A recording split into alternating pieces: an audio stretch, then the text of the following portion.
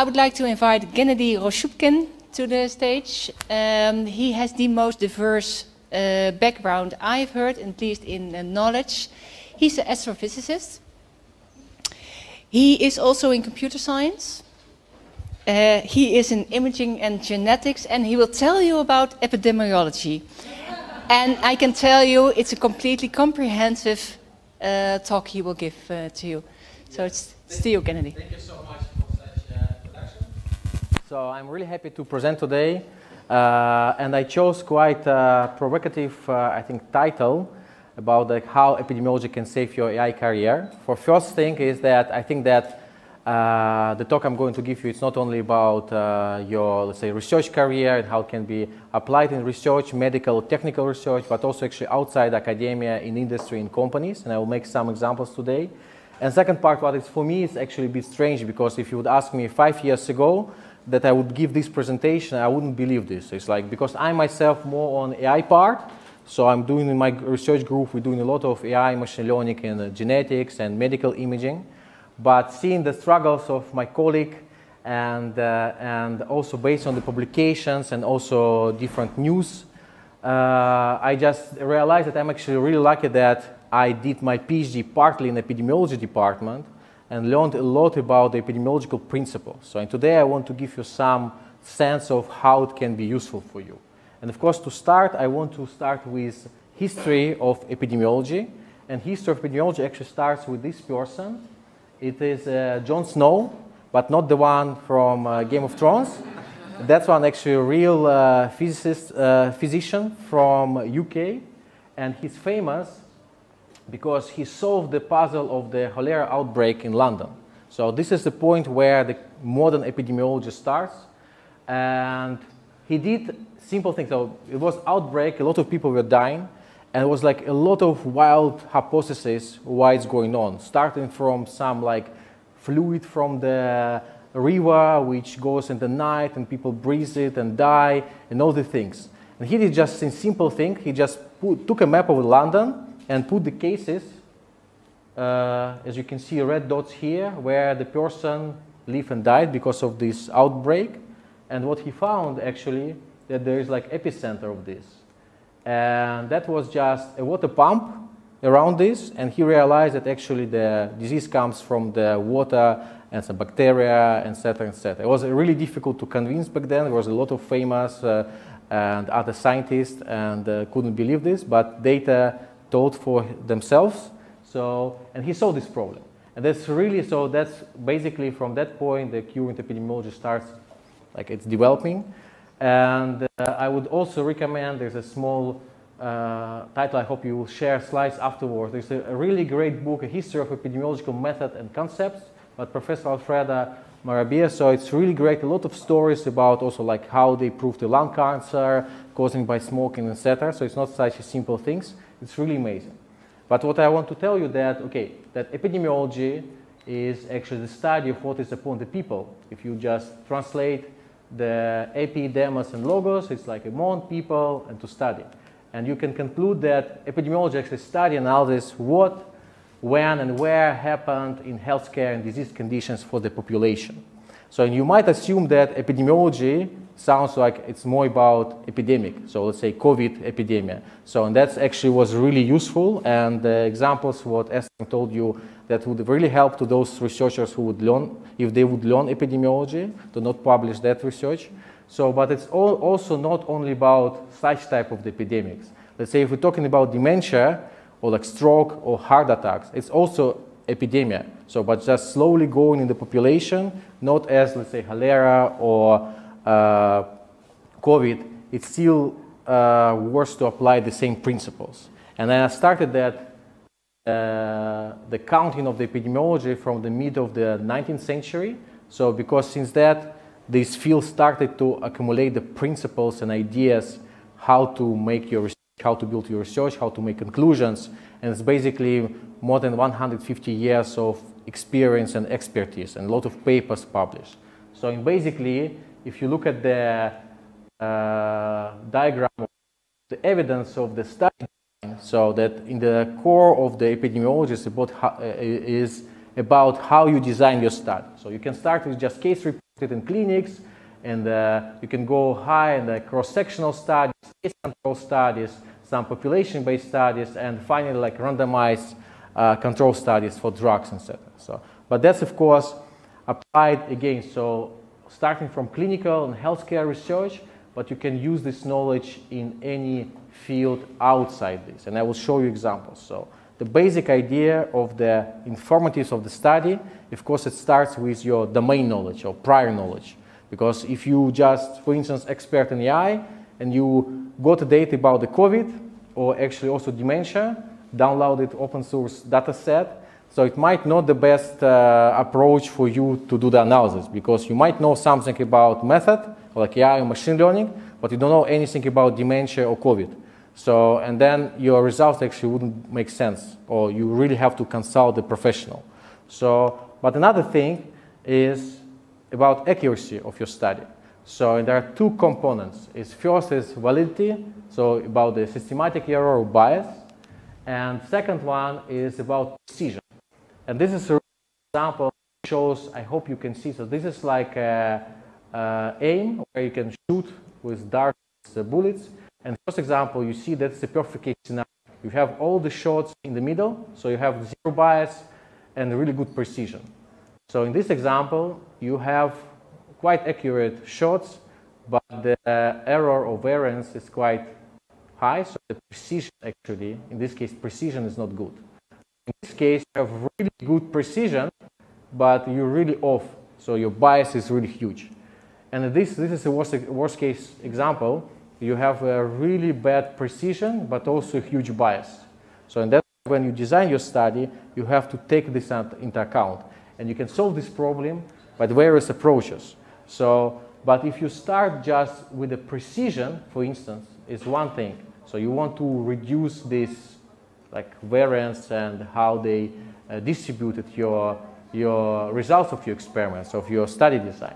So, but in epidemiology, they already realized it quite some years ago that big data doesn't solve this problem. So it's like there's a saying, garbage in, garbage out. So even if you collected millions of samples with the COVID, with dementia, or with your clients on your website, so if the data design is not good, you have bias, so the precision is quite good, but can have off results. So that's why data doesn't solve this problem. And just to give you example about what kind of biases we can expect from not even the clinical application. So the first is like historical bias, so how you collect your data. So, and let's say uh, this is a famous example coming back to the diversity uh, from the so they have a, such a huge company, they have so many people working for them, and they decide, okay, let's automate the HR uh, process. So basically, let's train the algorithm, read the CVs, and uh, just uh, invite someone for the interview, say, just to make it um, less uh, work for the HR managers. So, and of course, what they did, they trained the algorithm on the data what they had already before.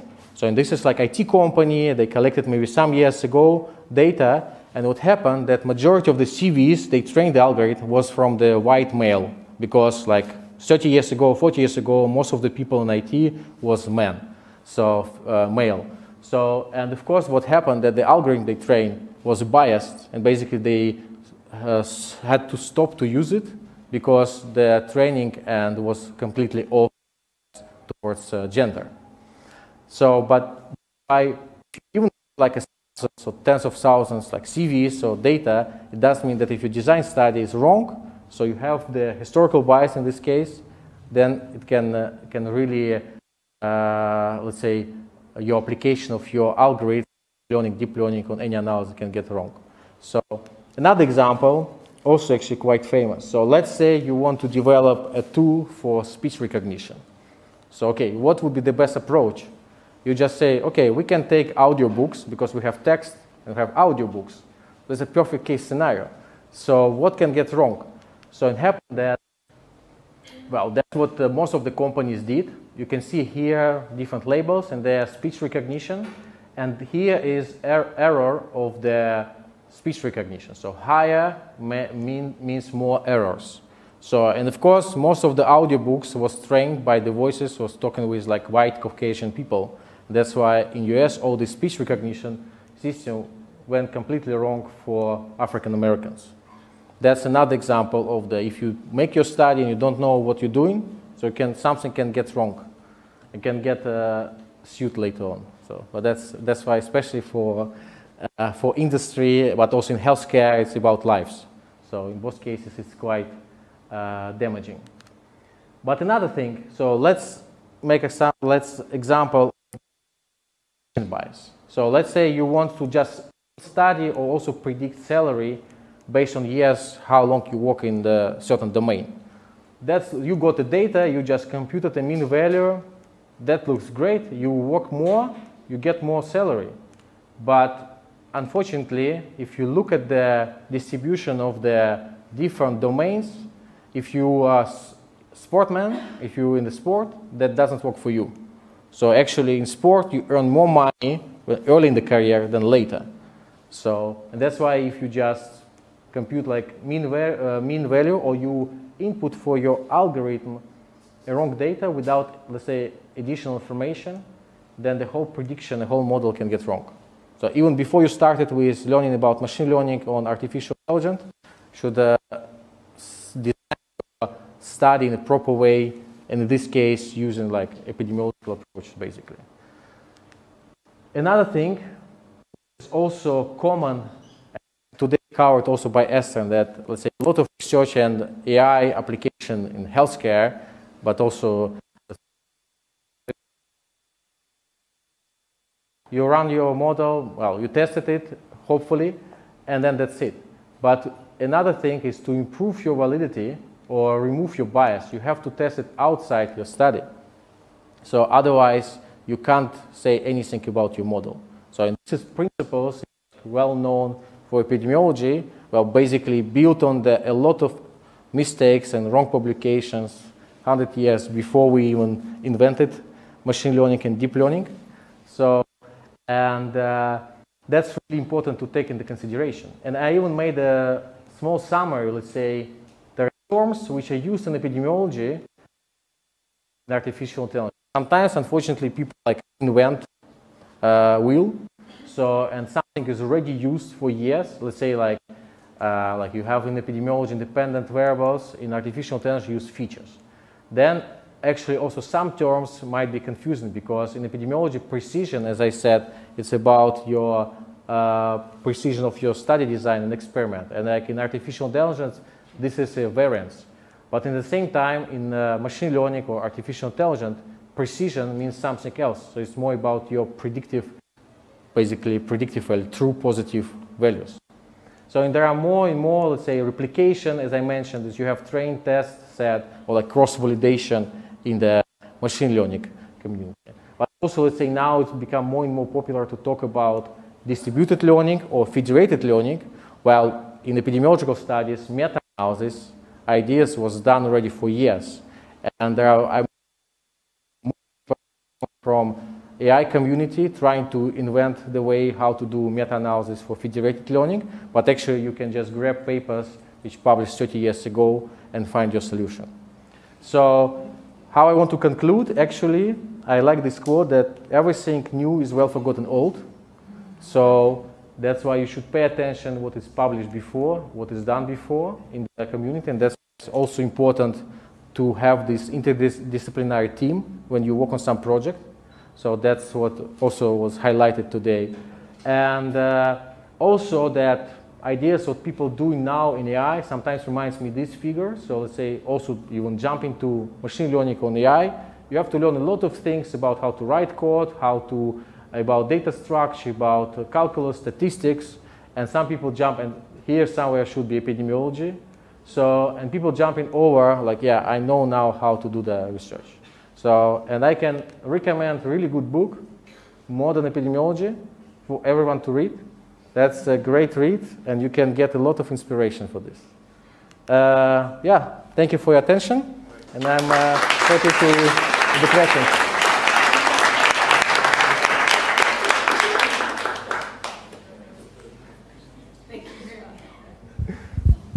Yeah, thank you very much. Uh, very clear presentation, a completely different field. Uh, how many statistic statisticians or epidemiologists are here in the room?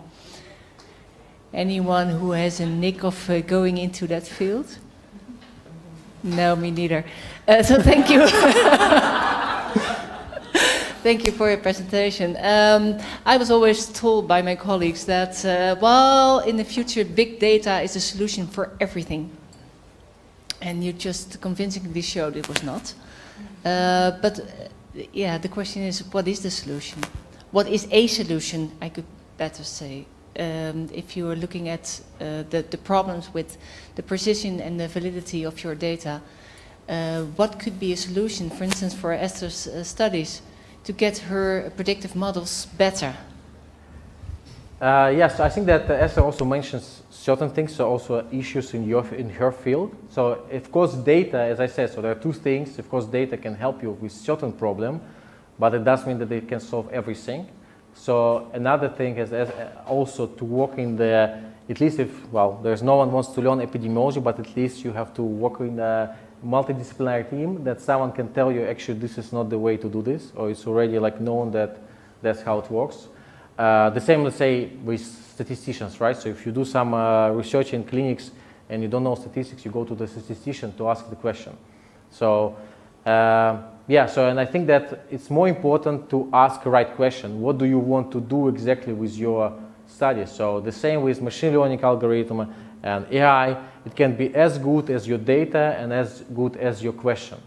So that's, I think that's, before you start, uh, you should uh, just really a right way to phrase it and find the right uh, colleagues or right knowledge to uh, prepare yourself for research. Because again, so right now to write some machine learning code, let's say using Python or neural network, it's just 10 lines of code, right? That's just really easy. Everyone can do this. And unfortunately, that brings this issue that there are a lot of like false fundi fu fundings, false uh, papers with some research, which just uh, uh, completely outside the field. So, and that's really also like that will bring in AI, especially in healthcare, the same issue of reproducibility, what uh, we have in like social science.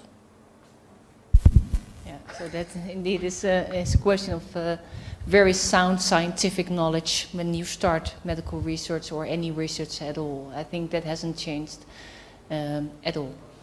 Um, questions from the audience?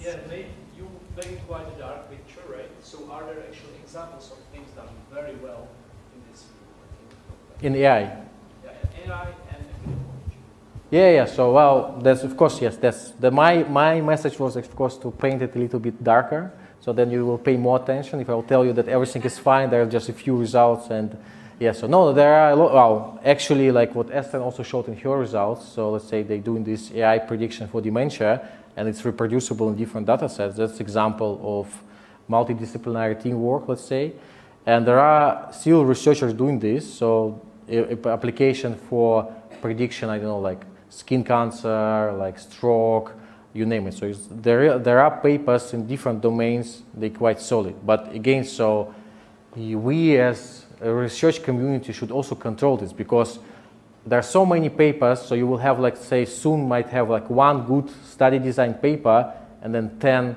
with bad design study. That's what you saw also with the COVID. It became like a hot topic last two years, a lot of fundings, and people started to do COVID research who before was doing some, uh, I know, children autism uh, research, and then everyone jumped and got money for like how COVID influenced like this topic or how we can predict this. So I think that's that's that's the danger. So that's why I want to kind of bring some awareness awareness so that you will be aware of this, and just when you do your research, you will be more accurate. AI hasn't changed uh, the fact that you should start with defining the right problem and defining the right method that fits to trying to answer your problem. And uh, the fact that we are 100 years ahead doesn't make a difference. Uh, who of you is working with AI? One, two, three, four, five, six, seven. A little bit higher, I can't see it. You don't, you don't get the microphone, no worries. About 10 people here working with AI. Who of you does not recognize this problem? None. I think it's a very, very clear that it's a real problem that we should, um, should work on, on uh, trying to solve it. Who of you has an idea of how to approach or how to try different methods to solve this problem already? Yes. Can you elaborate a little bit? On the, do you want to elaborate on that? Yes, that's you. Yes. Question also. Yes. Fine, fine. So Can everybody hear it also in the back? Okay, otherwise stand up, please. So, uh, before you probably go about framing your problem and question and also to address her issue, wouldn't it be better to, you know, push the medical community to gather more data so that you now have a representative set of, you know, the proportion of the population that has a certain disease, and then to train any of your models, you can sort of make a subset of the data that is representative and use that to train your models. Yes, yes, I agree. So just to be clear, so when I said this, more data doesn't uh, solve all problems, doesn't mean that you shouldn't collect the data. So more data is always better. I showed this plot with these uh, bullets. So in uh, that was about actually epidemiology, let's say the precision and the validity. But uh, machine learning, let's say you have the same plots showing about the bias and variance, and that's about your complexity of the models and the amount of data, and you have to have a trade-off. So more data can solve certain problem, and definitely you should collect more data.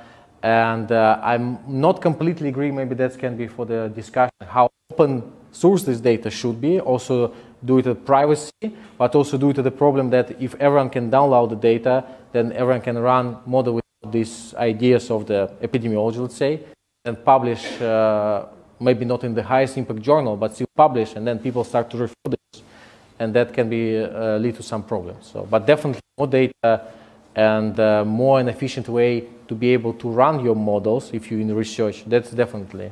Yes, so not just more data, but then every time you train a model, you can ensure that the data that you use to train it consistently has a representative set of Yes, you mean like just continuous, let's say, devel- like deployment of the model where you can retrain, let's say, based on new data. But basically, like every time you use data to train your model, you make sure that that data is proportionate to the actual population rather than just a random set of. Yeah, yes, yes. But of course, to make it proportionally to the sum set, it's quite also difficult sometimes. You know, that's the same. Like for instance, even in dementia research, let's say you don't know about disease again, you just download MRI and data, and then you run your analysis, and let's say because you collected data, let's say from Erasmus and from some uh, children hospital, from Sophia even. So and then your algorithm will perfectly predict, but because you didn't match the age of the participant, you know, like you can easily predict uh, age. Uh, let's say younger, you don't have dementia, so and older you have it. So brings the I do agree that it should be like a framework where you can easily do this, and uh, this should be taken into control the study design, let's say.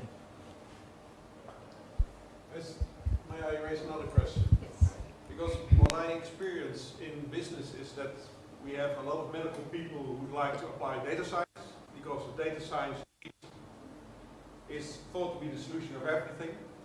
And we have a lot of data scientists who do not want to read any book about cardiovascular diseases or any medical stuff because that's too difficult. The data scientists always want to start programming in Python. Yeah, Immediately, today, download the code and run it. We'll see. yeah, But what is so striking for me is that these data scientists and these medical experts, they really don't understand each other. They really don't understand each other. So they're solving things, and the data scientists are happy because they like programming, which is fun. It's nice. If Yeah. it works, it's really fun. It's nice. yes, yes, Fancy things happening. But it's bullshit. yes. So funny because I want to respond you didn't directly because obviously he's a computer scientist, right? And he said, yeah, I think so. I think so. And the thing is, we need to push people from the medical field to gather more data. That's not how it works. it's just it's not something that you can just easily push someone to gather more data. That means you have to not hire another PhD student who has to work four years to gather up a cohort to get more data uh, according to all laws, and then you have to transfer it out of the hospital again. Yeah, but let's not. But because no, no, I mean, but, but the, just to make sure that we don't actually understand yeah, each yeah, other, so, because that, I think that's it's a perfect course, example. That's of course the problem. I mean, that's from both sides. So let's say again. So I'm working. I was fighting. I said that for me it's strange because I'm more AI. When I started uh, working in epidemiology uh, about genetics, and also I was just like, yeah, let's use some machine learning. And then community, actually, also medical community is quite resistant to something new, and it's like easy, easy. So like, uh, so it's. I do recognize both problems. And of course, there should be like a mutual solution. But the problem is, I would say that you don't have people on the top, like companies also, management who understand at least at the both domains. Because you either have manager again from data scientists, or you have in hospital clinician as a, a board of director. So and then they don't understand each other. So clinician sees okay, it's like uh, something we don't really care. Just do uh, we we more care about the patients and uh, safety, etc. And then data scientists they're like, yeah, give me more with AI. So that's what uh, I struggle with. Also students like if I have a PG student from Delft that uh, AI is like a hammer, everything looks like a nail. Let's just uh, apply it. So nobody wants to think about it. Maybe you can solve it with uh, linear regression, you know? So, yeah. But I think that's one thing is just converge it, but also I think that there's a lack of people on the high level, like with a boss knowledge. So that's a problem in clinics. I see it also, and also I assume in the in industry. Yeah. Oh, a lot of uh, good questions. Hi, a, a little response to your question. Uh, we have an actual uh, um, joint degree in clinical technology just addressing that problem. So, um, and in the new curriculum, uh, which I'm designing with a few of uh, uh, young uh, te- technicians, um, uh, clinical technicians, uh, we are implementing a data science line just to address the whole issue discussed, um, well, from bottom up. But um, we are addressing this, yes. It's a huge. Uh, well, yes, as an educationalist for the joint degree. Um, and uh, we start the new curriculum and the first data science classes in September. So, um, yes. But I think it should go even further because. Yeah. Yeah. But I, I, I'm, I'm sure that you will survive. You will manage. But do you have any legal and ethical models? Because I see that medical technology and these two communities are sort of like, uh, yeah, they do not understand each other, but usually they develop finally solutions and then they say, oh, wait a second, what about the laws? Like, how do we do this? And then like all of a sudden, like, there's like, oh yeah, this is a question. Well, but our model does this, yeah, but you know all the GDPR and the medical device regulation, yeah, it's like, yeah, but like, how do we sort of like put it already Yeah. like into the market? And sometimes like, I think uh, okay. I would say, Tanya, you need another module. It's just another extension of the study. Sorry, one year more. uh, but- No, but, but any of these considerations, like because there's like in the in the law what they call the data minimization principle. So like in a way, collecting a lot of data not only like for practical reasons, but also because the, the laws and the privacy of the users are to be respected. And many times it's because we don't really understand how privacy uh, harms uh, people, no? Uh, because uh, well, it's very easy to see how a robot can hit you or how a program may misdiagnose you. But like we need also to think about that. That well, we've been working about data protection for so long, and th- that is also for a reason, no? And that uh, it not only involves you, it might involve also like your family and like your future generations, whether you want to know this or not. And yeah, and, and I think that in a way like we need also to have like these um, discussions also with the with the law and ethics because I also understand that from our field people don't really know how technology works and like let alone like how medicine works so it needs to be a sort of three-dimensional uh, discussion uh, so that we ensure that at the end of the day, who benefits the most is the user and the patient, not one or the other discipline. Okay, one last question from you. Uh, the ones with the microphone can ask a question. um, I can add to that. We uh, within the uh, TU Delft, there are busy with um, making the reflective engineer a thing. It's uh, right now uh, being included in the uh, vision for the education. Um, uh, one of our um, past program directors is involved in this right now, so we have close contact with her, and this is a, um, it's about um, and reflective engineers, so they need to reflect on the, the work they do. Um, so um, the problem you assessed is, is going to be within that. No, yeah. Okay. I just one, comment. One, I comment. I one, think that it's really important that again, so to have people train in both ways. But again, so it's really important then uh, on the well, again on management uh, level is also appreciated because you will struggle a lot if you like even uh, from your master program say you find a job and then you're let's say uh, in the company people like don't see it clinical or only on the technical or other way around. You work in the hospital people so it can give a lot of problems. So unfortunately. Just one last question from here. Yeah, well, I want to add some supplements about these data sets. And I think this is all also about the openness. Because in the Netherlands, the, the pharmacy, there are so many different platforms. The pharmacy has, a, has the pharmacy, the GP, the hospital, and even the patient, they got the different platforms. So like, and also this platform has the different ownership and they don't really want to share this data. But luckily, the TU Delft also is working on the sharing platform. They are trying to define the requirements and yeah, well, design for the future.